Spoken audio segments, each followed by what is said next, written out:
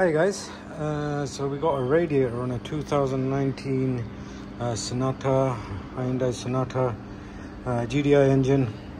Uh, should be quite similar for most of them. Uh, I'm basically about to finish the job to be fair, but I just thought I'll uh, make a quick video here. It's fairly straightforward job.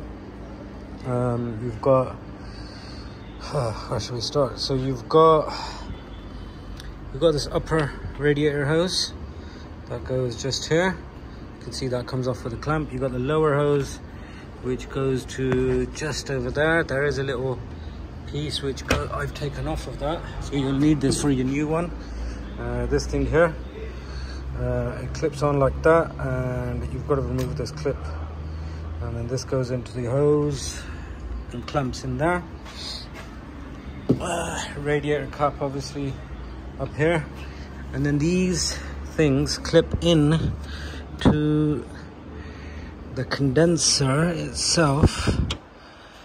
If I can get it out I'll probably have to move this but give you an idea. Just in there. Uh, so you've got to get your hand in get your hand in squeeze these down and then the, the radiator should clip out once you've um once you've loosened everything else. Um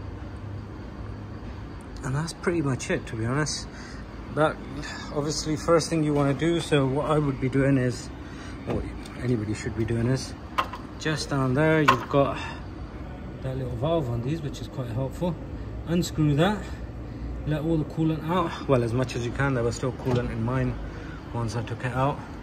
Um, coolant comes out then you remove the radiator hose from here the one down there and then that gets all your coolant out. Then you've got some 10 mils uh, holding these in. You've also actually got the radiator fan. Obviously i'm putting this back together so it's, it's a bit um a bit odd to try and explain it but the radiator fan sits so you've got one bolt in here same one on the other side in there. And then it sits on these things over here. Um, there is a plug for the radiator fan which is this plug on the radiator fan which I'll show you before I'll reconnect it. Um, and then also the the AC condenser sits on those little tabs in there. So once you've what you want to do is push the radiator towards the engine and it should just pull up from there.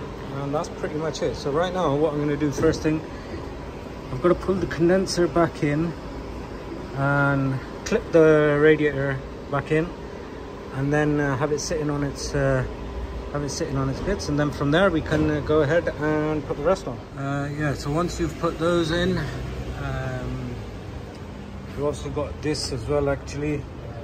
Uh, so this is a hose from the coolant tank which comes on to just over here. It should pretty much just uh, pull off fairly straightforward job. Be careful with your AC lines. Um, and now I'm gonna go ahead and just clip this in to give you a bit of a clearer idea. Those clips are gonna go in there. And you would just want to get your hand in there and remove those. Uh, so yeah let's take a look. I've also got these two uh, which sit on the bottom of the radiator. Uh, there's little um, sort of pegs for them. They literally just slide in uh, and then you can go ahead and start mounting the radio. Right, so it's all up and running, no leaks. Um, coolant is pretty much up to level. I've taken it for a test drive. There's no leaks coming. Coolant seems to be holding up. Temperature's good. Here's the plug for the fan that I mentioned. Fan's running as well. And radiator has pretty much fixed up. And it's an upgraded radiator as well. I think it was Taiwanese or something. And so yeah that's all done. Job's a good. one